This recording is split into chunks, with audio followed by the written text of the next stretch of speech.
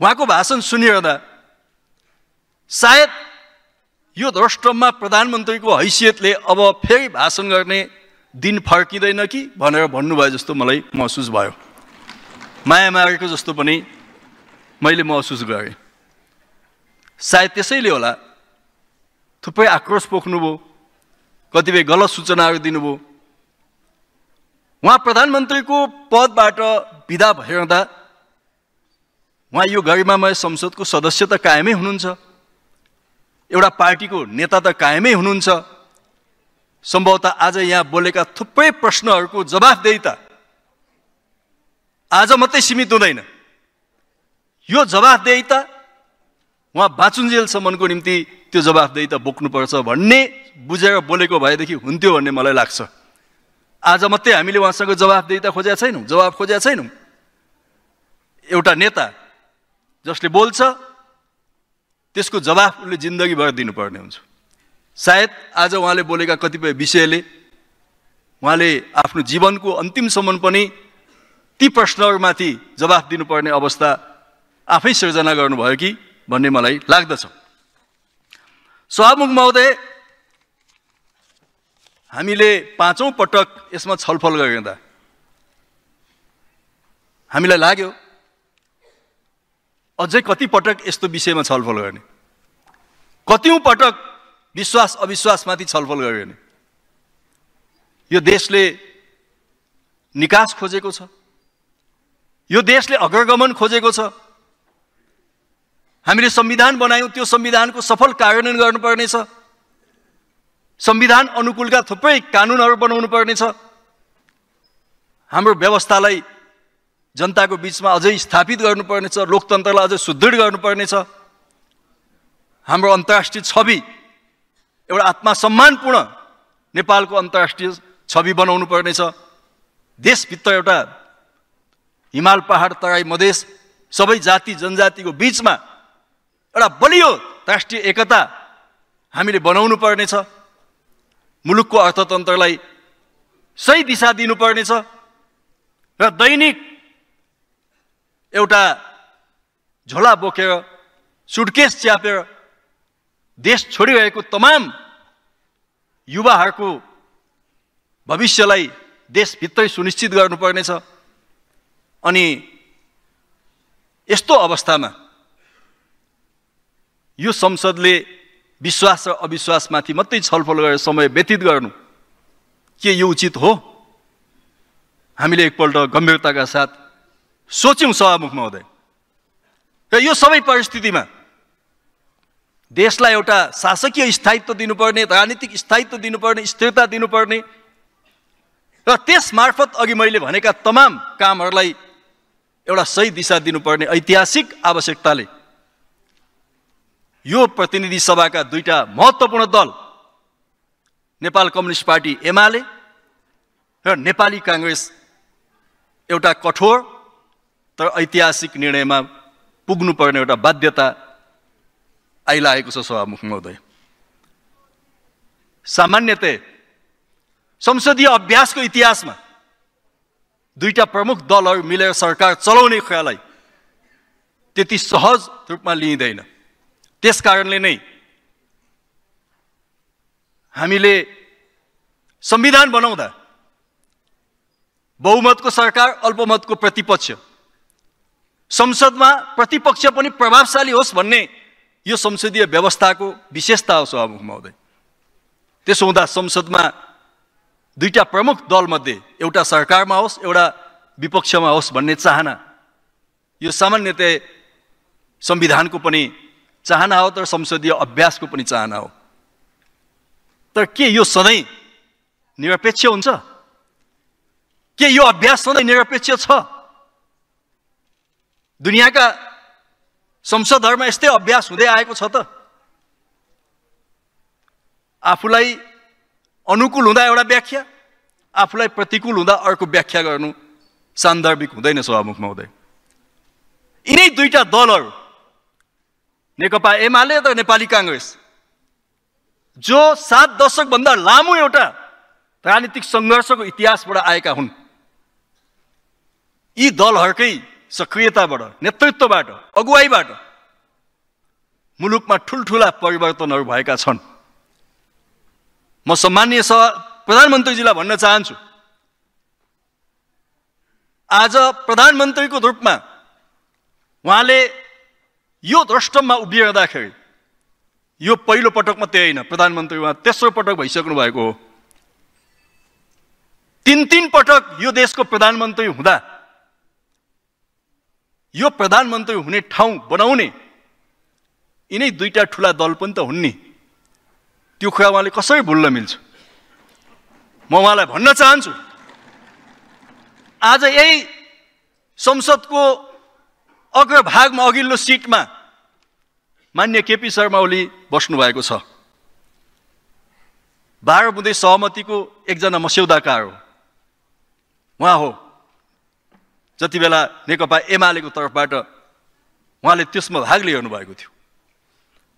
आज मान्य शेरबहादुर देउबाजी यहाँ बसिरहनु भएको छ। जति बेला उहाँ थुनामा हुनुहुन्थ्यो थुनामा भएको एउटा प्रधानमन्त्री त्यो बाह्र सहमतिमा थुनाबाटै उहाँले हस्ताक्षर गर्नुभएको होइन र? कसरी बिर्सिन सकिन्छ? यदि त्यो नभएको भए मैले कयौँ माओवादी साथीहरूका तर्कहरू सुनेको छु। काङ्ग्रेस र एमाले कहाँ पुग्थे हामीले यहाँ ल्यायौँ। होला उहाँहरूको भूमिका त्यसमा। किनभने हामी एक्लैले यो संविधान बनायौँ। यसमा माओवादीको योगदान थिएन। त्यो भन्न म चाहन्न। माओवादीको योगदान छ। त्यस कारणले आज माओवादी पनि छ यो संसदमा। तर म यहाँहरूलाई भन्न चाहन्छु दुनियाँका यस्ता ठुला ठुला हिंसात्मक विद्रोहहरू कता विलय भए? चाहे त्यो तपाईँले आदर्श मानेको पेरु होस् अथवा तपाईँले आदर्श मानेको फिलिपिन्स होस् अथवा दुनियाँका अन्य धेरै मुलुकहरू हुन्। आज कहाँ छन्? कहाँ गए? नेपालमा नेपालको वामपन्थी आन्दोलनलाई पश्चिम बङ्गाल हुन्छ कि भन्ने धेरै ठुला चिन् धेरै ठुलो चिन्ता किन छैन सभामुख महोदय भने त्यसप्रति हामी सजग छौँ। तर हामी धेरै चिन्तित किन छैनौँ भने त्यतातिर नेपालको वामपन्थी आन्दोलन नजाओस् भन्नका लागि नेपालको कम्युनिस्ट आन्दोलनमा मदन भण्डारीको उदय भएको थियो। र जनताको बौद्धले जनवादको प्रस्तावनाले नेपालको कम्युनिस्ट आन्दोलनलाई फिलिपिन्सको जस्तो विध्वंस हुनबाट बचायो होला पेरुको जस्तो त्यो विध्वंस हुनबाट बचायो होला अथवा पश्चिम बङ्गालको जस्तो हुनबाट बचायो होला। त्यस कारणले हामी सिद्धान्तबाट सङ्गठनबाट विचारबाट हाम्रो संस्कृतिबाट आफूलाई रूपान्तरण गर्दै यहाँसम्म आयौँ त त्यसको जग जननेता मदन भण्डारीले बसाल्नुभयो। जनताको बौद्धले जनवादको रूपमा। आज नेकपा एमालेका लागि यो संसद कुनै आफ्नो स्वार्थ सिद्ध गर्ने साधनको रूपमा मात्रै होइन। नेकपा एमालेका निम्ति यो संसद प्रतिबद्धता हो हाम्रो। हाम्रो सैद्धान्तिक प्रतिबद्धता हो। म यहाँलाई सम्झाउन चाहन्छु फर्काउन चाहन्छु कि दुई हजार पन्ध्र सालको निर्वाचनमा।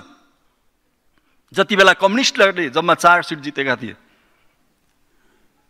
दुई हजार सत्र सालमा राजा महेन्द्रले संसदको विघटन गरिँदा त्यो चार सिट मात्रै भएको कम्युनिस्ट पार्टी त्यसका नेता पुष्पलालले विघटित संसदको पुनर्स्थापनाको नारा दिनुभयो।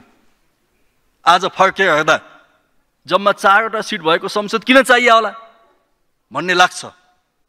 त यो हाम्रो अग्रज नेता पुष्पलालले यो बुझ्नुभयो कि संसद भनेको जनताको सार्वभौम सत्ताको अभ्यास गर्ने थलो त्यसकारण यो संसद चाहिन्छ। हामीले त्यो प्रतिबद्धताका साथ आफ्नो सैद्धान्तिक प्रस्तावनालाई अगाडि बढाएका हौँ सभामुख महोदय। संविधानको सर्वोच्चता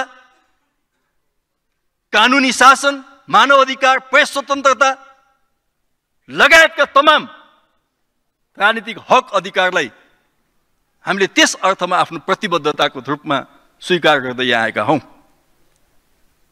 हामीले नेकपा माओवादीसँग बाहन्न सालदेखि जब उहाँहरूले हतियार उठाउनु भयो लगातार लगातार यही बहस गर्दै आयौँ। कहिले हामी सिलगढी पुग्यौँ कहिले हामी रोल्पा पुग्यौँ कहिले हामी कलकत्ता पुग्यौँ कहिले दिल्ली पुग्यौँ। हामीले यही भन्दै आयौँ बाटो यो छ है? तपाईँहरू गलत बाटोमा हिँडिरहनु भएको छ। बाटो यो छ। उहाँहरूले सुरुमा पत्याउनु भएन। आज पनि प्रधानमन्त्रीजीले वाम मनोविज्ञानको भाषण गर्नु गर्नुभयो। म उहाँलाई भन्न चाहन्छु। जति बेला नेकपा एमालेका झन्नै चार सय साढे चार सय पार्टी सदस्यहरू माओवादीको आक्रमणको शिकार भए। त्यति बेला यो वाम मनोविज्ञान कता गएको थियो? आज कहाँ हुन्थ्यो मुलुक? संविधान निर्माणपछि केपी ओलीको नेतृत्वमा सरकार बन्यो। त्यो सरकारमा नेकपा माओवादी पनि सम्मिलित थियो। तर त्यो सरकारबाट उहाँहरूले समर्थन फिर्ता लिनुभयो। त्यति बेला वाम मनोविज्ञान वाम प्रियता कता गएको थियो आज हामीले यो पद दिउँ राष्ट्रपति फलानालाई दिउँ सभामुख फलानालाई दिउँ मलाई अचम्म लाग्छ कतै नेकपा माओवादीले आफ्नो लगानी भन्दा बढी डिभिडेन्ड खोजे हो कि?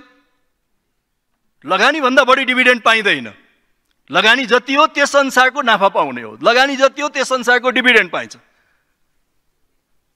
कहिले काहीँ ब्याङ्कले के गर्छ भने कोल्याटर पुगेन भने पनि व्यक्तिको व्यक्तित्व हेरेर पनि ऋण दिन्छ। सायद माओवादीको कोल्याटर नपुग्दै पनि प्रचण्ड कामरेडको व्यक्तित्वबाट पनि हामीले अगाडि दिएका हौँ।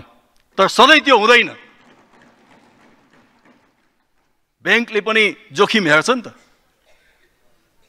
व्यक्तिलाई पत्याउँछ कहिलेकाहीँ। तर उसले त्यो फिर्ता गर्न सक्छ कि सक्दैन? त्यो त ब्याङ्कले हेर्छ वित्तीय संस्थाहरूले हेर्छन् त्यहाँ सधैँ त्यो भाष्य बन्छ भन्ने मलाई लाग्दैन। मलाई के लाग्छ भने हामीले गएको सत्र गते नेकपा एमाले र नेपाली कङ्ग्रेसको नेतृत्वको बिचमा एउटा सहमति गऱ्यौँ त्यो सहमति किन गर्नु पर्यो? हामीले यही ऐतिहासिक आवश्यकताले विगतका अभ्यासहरू असफल भए। यो देशलाई जहिले पनि प्रयोगशाला किन बनाउने? यो देश जहिले पनि प्रयोगशाला भइरहेको छ। कहिले कसलाई कहिले कसलाई प्रयोग गर्दै प्रयोगशाला? जनता थाकिसकेका छन्। जनताको मनस्थिति एकदमै डिफेन्सिभ भएको छ। एउटा डिफेन्सिभ एउटा थाकेको जनताले राष्ट्र बनाउन सक्दैन। त्यसकारण त्यो जनताको सपनालाई फेरि हामीले जागृत गर्नु छ। त्यो सपना जागृत हुने विश्वास आर्जन हुने बाटो के होला?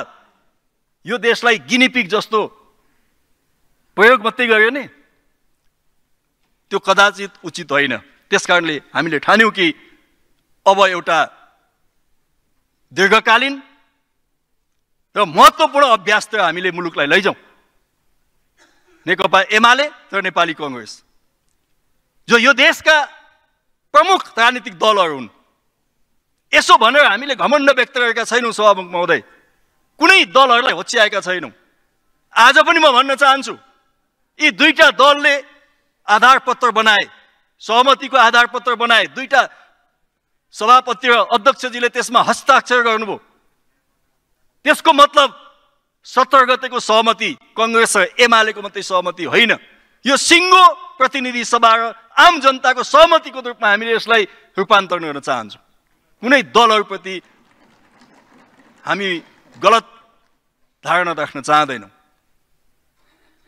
सबै दलको सहमतिका साथ राष्ट्रिय सहमति बनाउन चाहन्छौँ। त्यस कारणले हामीले त्यो गरेका छौँ। विकास निर्माणका कामहरू ठप्प भए। विगतमा केपी ओली नेतृत्वको सरकारको बेला यसमा केही प्रगतिहरू भएका थिए। आशा जागेको थियो। राष्ट्रिय गौरवका आयोजनाहरूमा सन्तोषजनक प्रगति भएको थियो। कतिपयले विकास निर्माणमा केपी ओलीको भाष्यलाई गलत ढङ्गले पनि उडाए। तर केपी ओलीले विकास निर्माणको एउटा भाष्य स्थापित गर्नुभएको थियो। तर त्यसपछिका पछिल्ला दिनहरूमा यसमा लगातार शिथिलता मात्रै हामीले देखिरहेका छौँ। कहाँ छ आज पनि पुँजीगत खर्च? कहाँ छ आजको अवस्था? राष्ट्रिय गौरवका आयोजनाहरू कहाँ छन्?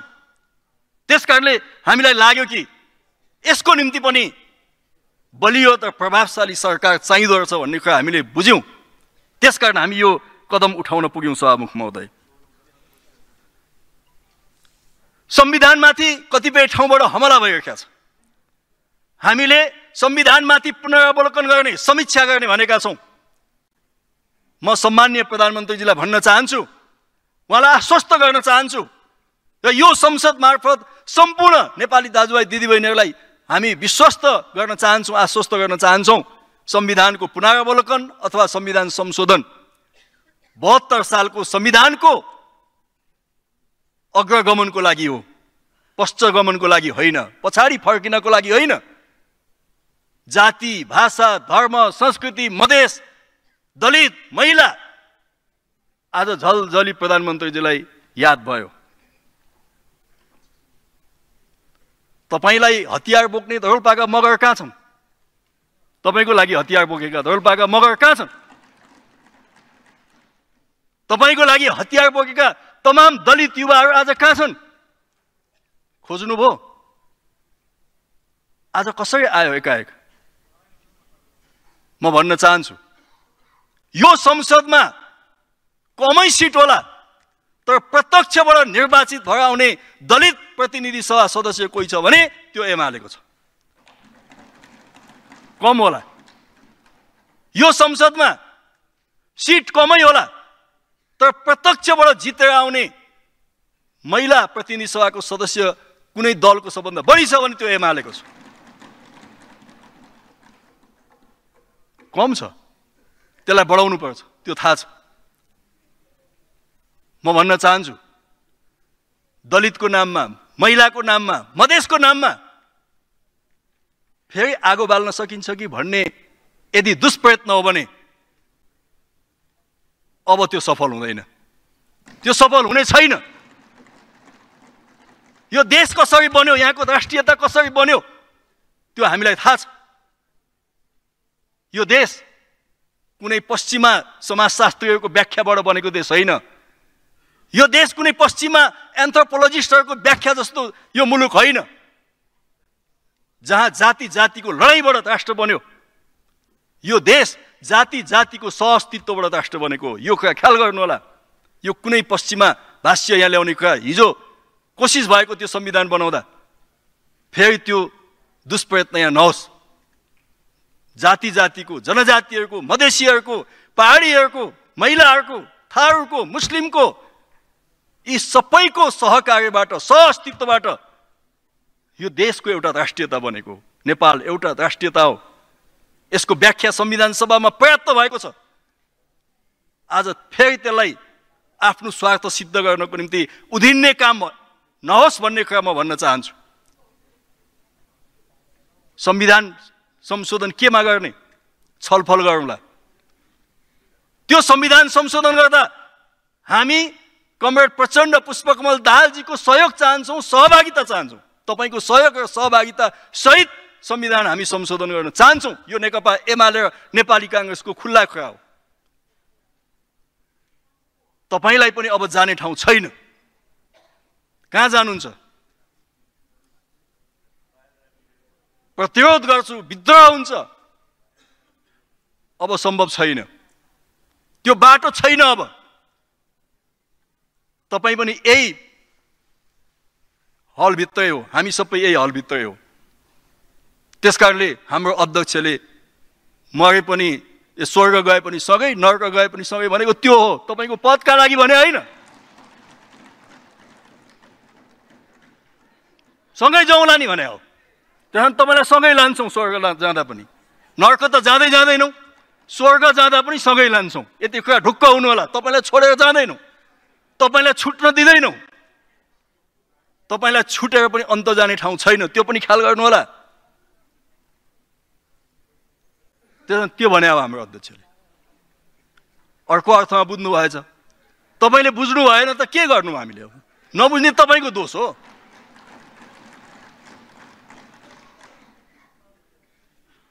यदि नबुझे भए फेरि सोध्या हुन्थ्यो। के भने हो भनेको भए हामी बताउँथ्यौँ नि त यो भने हो भनेर। बुझे जस्तो गर्नुभयो। तर खास बुझ्नु भएको रहेनछ आज हामी बुझाउन चाहन्छौँ। यो देशमा लगानीको वातावरण उद्योगी व्यवसायी चिन्तित छन्। तपाईँले छ छ अरबको वैदेशिक लगानीको ग्यारेन्टी आयो लगानी सम्मेलनमा भन्नुभयो। त्यसमा के छाती ठोक्ने?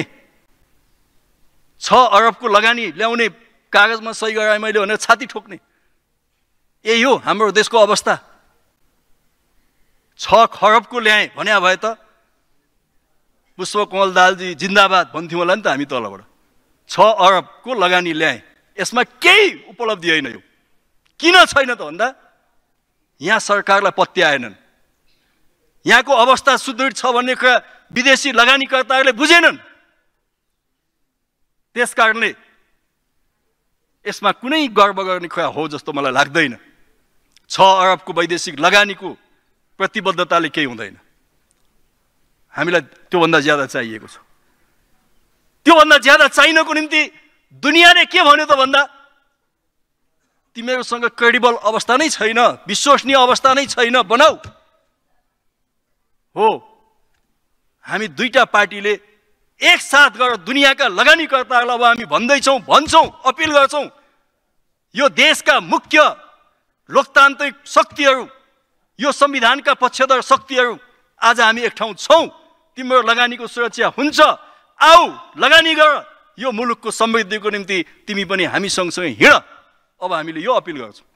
यो अपिल गर्ने तागत अब यो मुलुकमा बन्दैछ। त्यो अपिल गर्न हामीले यो ठाउँमा गर्दैछौँ सभामुख महोदय। अन्तर्राष्ट्रिय सम्बन्धहरू कुरा मैले गरेँ। जब भारतका प्रधानमन्त्री रसिया जानुभयो मोदीजी। रसियन सरकारले भन्यो कि हामी सबै फिर्ता गरिदिन्छौँ रसियन सेनाका भारतीय नागरिक। जो यहाँ मृत्यु भयो उनका परिवारले रसियाको नागरिकता चाहन्छन् भने पनि दिन्छौँ। तर आज हाम्रो देशले यो दमका साथ किन आफ्नो कुरा भनिरहेका छैन भन्न सकिरहेका छैन? रसियनहरूलाई किन भन्दैछैनौँ कि नो इफ बट हाम्रो मान्छेहरू फिर्ता गर भनेर किन भन्न सकिरहेका छैनौँ किन आइरहेका छैन? मनोज जोशीको अवस्था के छ इजरायलमा? लुते सरकारले केही हुँदैन नि। त्यस कारण त्यसको निम्ति बलियो सरकार चाहियो। दमका साथ भन्ने चाहियो। चाहे दक्षिणतिर होस् चाहे उत्तरतिर होस् चाहे पश्चिमतिर होस् नेपालको प्रधानमन्त्री जसले यो देशको दुई तिहाई जनमतको प्रतिनिधित्व गर्दैछ त्यो प्रधानमन्त्रीले हामीसँग डाइलग गर्दैछ भन्ने कुरा त्यहाँका प्रधानमन्त्रीलाई आभास हुनु पर्यो नि त। हो हामी त्यसको निम्ति यो गर्दैछौँ। हामी त्यो बाटोमा जाँदैछौँ।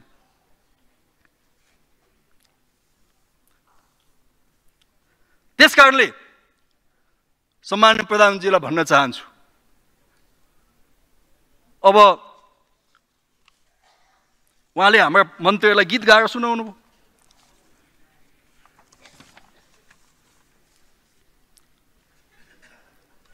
गीत गाउनुभयो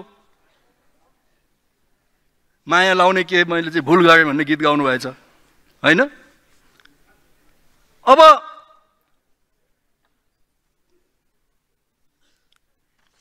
प्रधानमन्त्रीजीलाई हाम्रो भनाइ यही छ। यहाँ एउटा गीत लेखेर ल्याएको थिएँ कता पऱ्यो?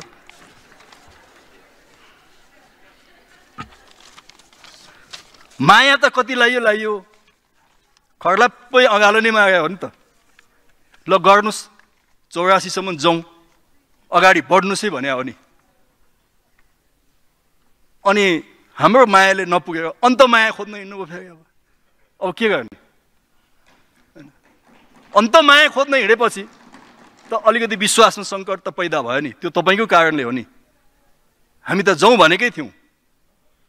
अघिल्लो पटकै उनासी सालमै जाउँ भने होइन र? एकपल्ट सम्झिनु त। हामीसँग कागज गर्ने एउटा राष्ट्रपति पनि एमालेबाटै हुन्छ भनेर कागज गर्ने। आज आएर मैले राष्ट्रपति काङ्ग्रेसलाई दिएँ। त्यही बेला भन्नु पर्थ्यो नि त तपाईँले। तपाईँले केपी ओलीलाई जे आरोप लगाउनु भयो त्यो त तपाईँ नै रहेछ नि त खासमा। होइन? केपी ओलीलाई भन्नुभयो नि एउटा भन्ने अर्को गर्ने भन्नुभयो नि। तपाईँले नै गर्नुभयो त। एमालेसँग कागज गर्नुभयो राष्ट्रपति पनि एमालेको हुन्छ सभामुख एमालेको हुन्छ प्रधानमन्त्री आफू हिँड्छ भनेर कागज गए हो नि त। अर्को एक महिनापछि त्यो कागज कता गयो? त्यही कायम भएको भए के हुन्थ्यो? ठिकै हुन्थ्यो नि त कङ्ग्रेस अपोजिसनमा हुन्थ्यो। तपाईँ प्रधानमन्त्री हुनुहुन्थ्यो हामी अगाडि बढ्थ्यौँ।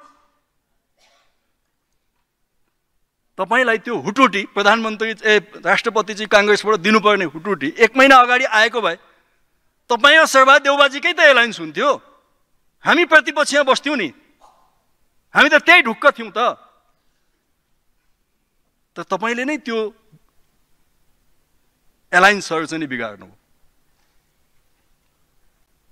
त्यस कारण यसमा अरूलाई दोष दिएर उम्किने ठाउँ जस्तो छ जस्तो मलाई लाग्दैन। म कमरेड प्रचण्डलाई भन्न चाहन्छु। तपाईँको जिन्दगी उथल पुथलपूर्ण नै छ।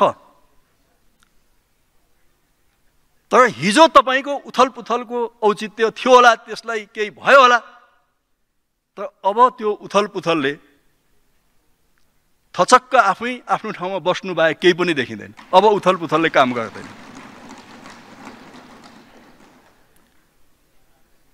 त्यस कारणले अब यहाँ संसदमा म देखाउँछु प्रतिपक्ष भन्दै हुनुहुन्छ नि। ठिक छ हामी त्यसमा खुसी नै छौँ। हामीलाई पनि चेक एन्ड ब्यालेन्स होला। हामीलाई पनि राम्रै हुन्छ। तर तपाईँको निम्ति एउटा सुवर्ण अवसर कङ्ग्रेस र एमाले दिँदैछ।